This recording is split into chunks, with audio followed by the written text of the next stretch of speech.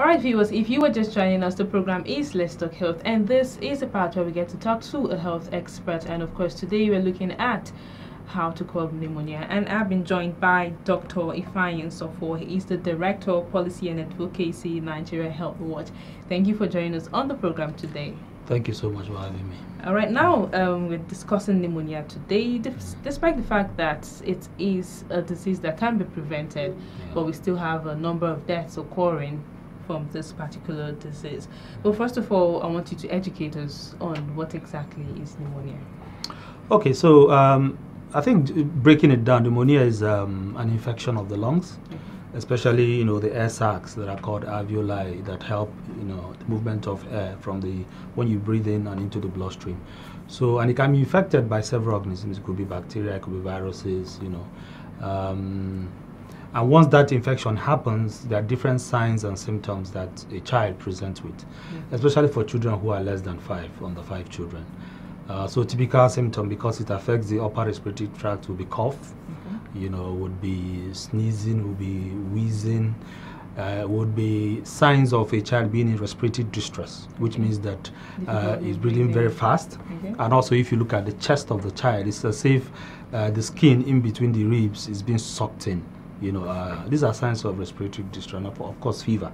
Okay. Uh, these are the different signs of pneumonia in children under five. Okay, from what you mentioned, is mm is something that affects children mostly. Yes. Mm. Children mostly. Yeah, mostly. Yeah. Okay. Mm. Now, um, what exactly are the causes of pneumonia? Because I think people just associate with with cold, just basically cold. So, are there any other causes? Okay, and, and, and I think that assumption people make, the fact that the child has cough doesn't mean the child has pneumonia. Okay.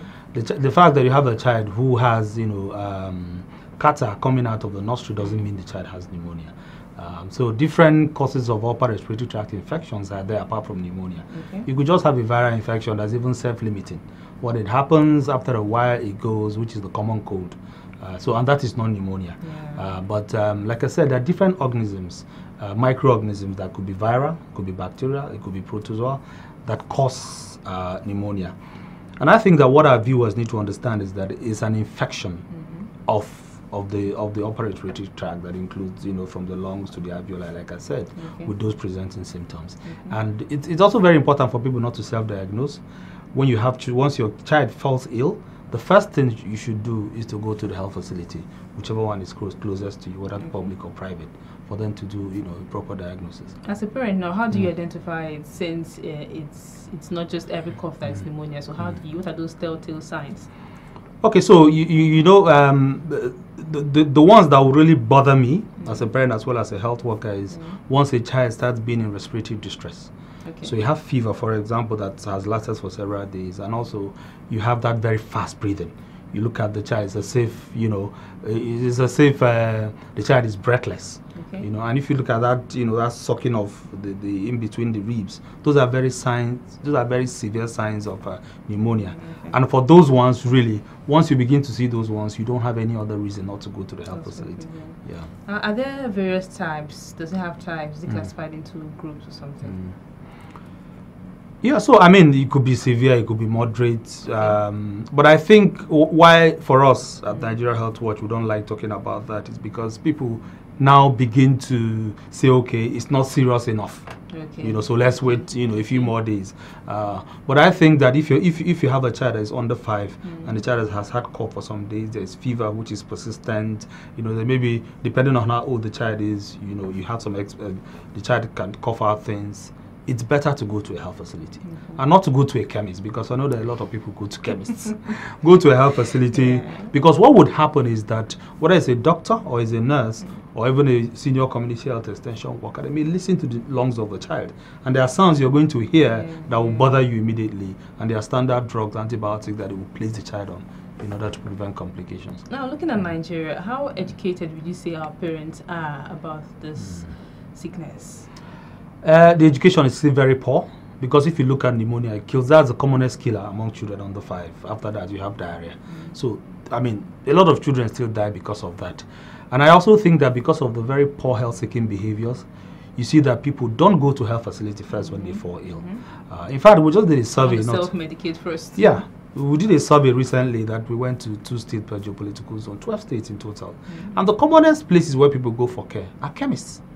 You know, they go to chemists, some go to churches, some go to traditional, you know, healers.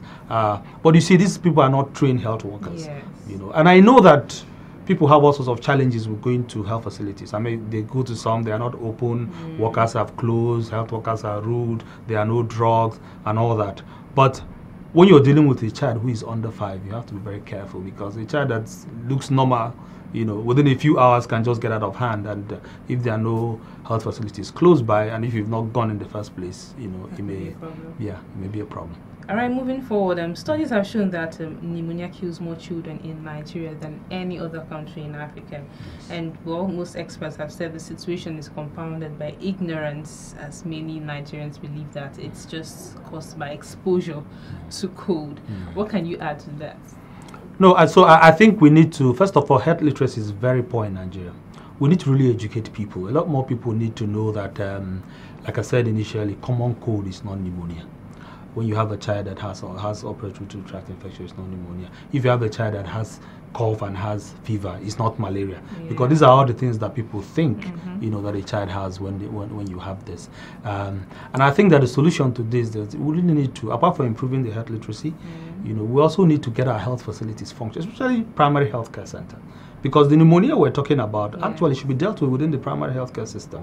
And I know different countries, for example, Ethiopia, they've adopted uh, the use of community health extension workers that provide treatment at the community level so that even the mother doesn't need she doesn't need to go through that extra stress of looking for a health facility. Yes. Right within her community, there are people trained to observe this signs and place the child on antibiotic.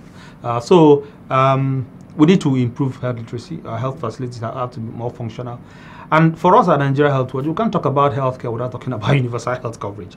Because really, the ultimate thing is that for most people, it's a question of cost. Mm -hmm. You know, people don't have the funds, so especially when yeah, so they stay back at home. They look for other, other, other, other, other means of treatment. Like what I said initially, the survey that we did, yeah. we even found out that um, chemists now do some kind of um, uh, instrumental payments you know, so your mother comes, okay, how much do you have? Yeah. I have five, okay, drop it for let's start treatment. So because of that, these are all the things That's that terrible. you know that really worsen the poor health seeking behaviors. There we can never have enough health education. You know, that's really what I'm Now talking about health, health education, can mm. we say that insufficient knowledge and skills amongst community health extension workers mm the inability to you know properly diagnose mm. this particular illness is also a factor mm. because definitely I believe the primary healthcare workers mm. also need education on how to identify most of these mm. illnesses. Is that also a factor in. Nigeria? Yeah, yeah, definitely. Because if you look at you know even the communities and primary health centers where the community health extension workers are skilled, you see an evidence of a donor an international organization who is intervening, providing training, you know, providing update courses for them. Uh, most of the time, you see government doesn't really invest in all that. Because for someone who left school, maybe school or health technology 10 years ago, mm. a lot of things have happened, you know, new ways of doing things have come out. Uh, so, that, and once you have poor knowledge, poor skill, it also worsens the health seeking behaviors. People come to your facility, they don't, once they lose confidence, your ability to provide care, that's it. that's it. They don't come back, they go elsewhere. You know, so um, uh, you're absolutely right. We need to improve, you know, the capacity and knowledge of um, community health extension workers and even community volunteers. I've also evaluated projects where, you know, community volunteers, people who ordinarily will give up on mm. that these people are not even literate, they didn't go beyond primary school but some of these illnesses happen at the community level. And having someone who has the right skills, you know, to nip it at the bud, you know, uh, is very key. And I'm happy that um, I think uh, two years ago, the National Council of Health also approved uh, the policy on task shifting. Okay. So it's time for doctors to begin to give up some of their roles that nurses can undertake. Okay. Nurses can give up some of the roles that community health extension workers can do. Okay. Those ones should give up roles that community women who live with these people when a child is wheezing at 2 a.m., there's no health worker probably in the primary health center. But there's a woman in that community who is a community volunteer who has been trained to provide that care. You know, if we have those people present, then we're actually going to save a lot more people. All right, now let's um, look at uh, the federal government in all of this. How would you rate the response of the federal government in curbing the statistics, the growing statistics of pneumonia in Nigeria?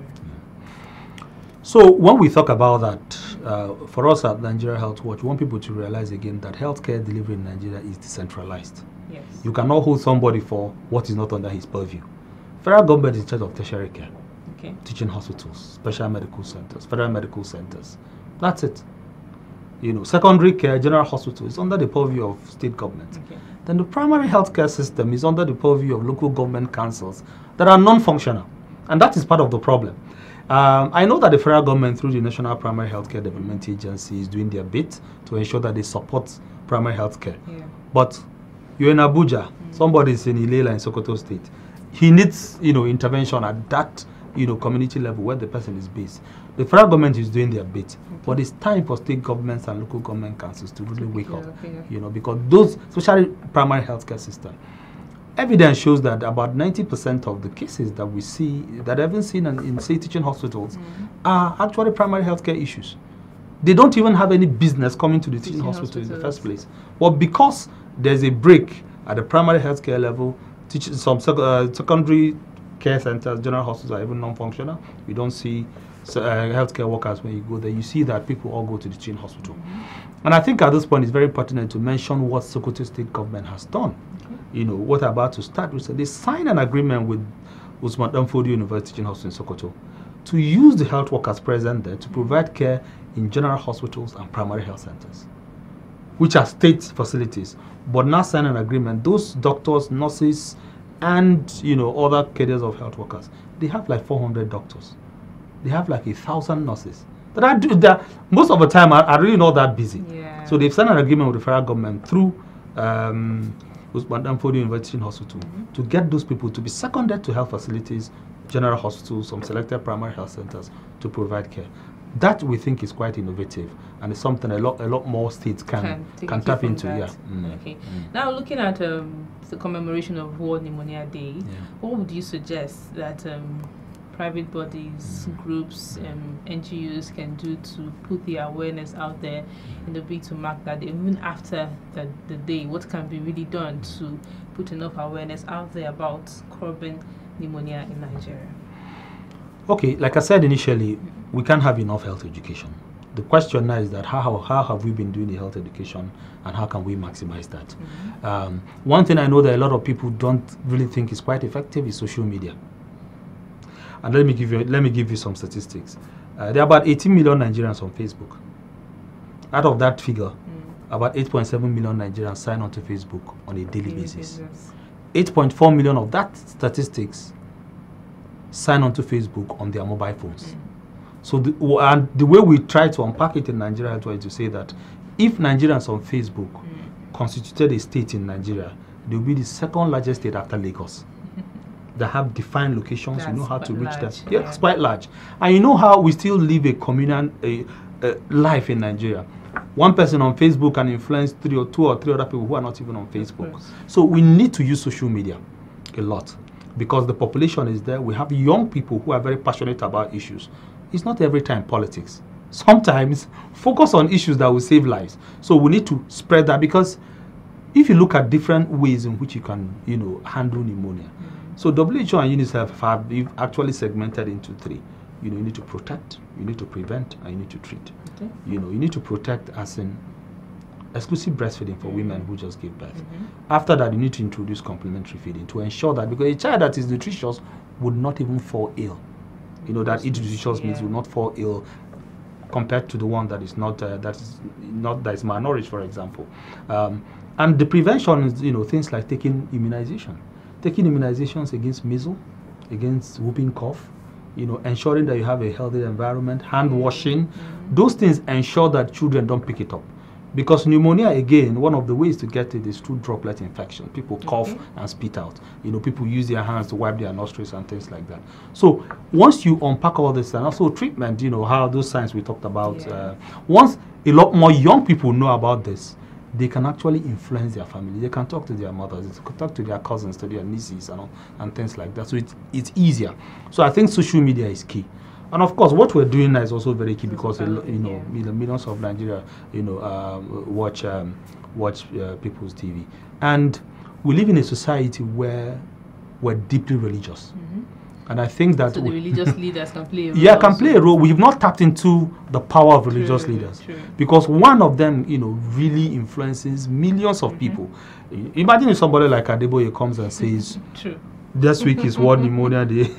Please start washing your hands true. anytime. Do you understand? It has, yeah, it's yeah, it will, and it's lasting because it's almost mm. like you know God has spoken. you know, so we need to do that and uh, of course community leaders again depending on which part of the country you come yeah. from in the western part you know in the northern part you know people respect their community leaders mm-hmm. much more than we do for example in the southeast of the country so looking at you know what constitute the low-hanging fruit in different spaces yeah. let's tap into that social media religious leaders community leaders tv radio you know and ensure that because too many children are still dying from pneumonia and that's that's really unfair yeah all right, now what's the treatment exactly? Can mm. it just be treated with you know, a dose of an injection mm. or something, or you know, lots mm. of antibiotics? What mm. treatment exactly goes for that? Okay, so the treatment, and again, I, it's very important for me to emphasize is that allow a health worker, you know, make this prescription for you.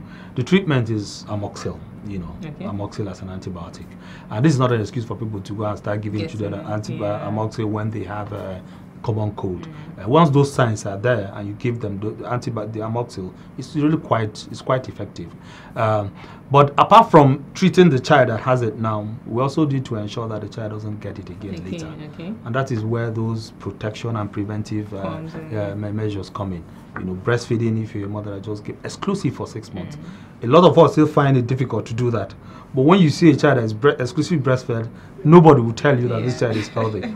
you know, and knowing how, when to introduce the complementary feeds, what kind of things to do, and ensure that your children are immunized. You know, ensure That's ensure that basic. basic. Keep a clean environment. Wash your hands. Hand washing. It's like a magic bullet mm -hmm. for so many issues. All right. Mm. Finally, before I let you go, what would just be your general recommendations mm. to both? Um, we've talked about the state government, the local governments mm. being in charge. Okay, your recommendations now generally as curbing this in Nigeria? Yeah. So generally, I need to go back again to what we are pushing for mm -hmm. through Nigeria Health Watch, universal health coverage. Okay. There's no reason why somebody cannot have access to care for him or her or their kids because they are unable to pay. You know, uh, we we know of instances where families practically watched their children die because they're not able to pay. Yes. You know, so governments at different levels, federal government, state, local government must key into this to ensure that um, a lot more Nigerians have access to health insurance that will have to give them access to that. But um, apart from that, we need to improve health education. You know, we need to focus on the very simple things: hand washing. Hand washing. People take it for granted. People take it for granted, but the, the people have done all sorts of research about that, and mm -hmm. the evidence for preventing infectious diseases is so strong. Pneumonia. Mm -hmm. Ebola, monkeypox, just name any infection. You wash your hands the way you ought to wash it. You know that, and also keeping a clean environment. Sweep. And you know one other thing that triggers, you know, there's a risk for pneumonia in children is, you know, um, the quality of air that children breathe in, in, in the homes. Okay. There's no need staying in a room where everything is locked up. Okay. You're sweeping, raising up dust, and all that.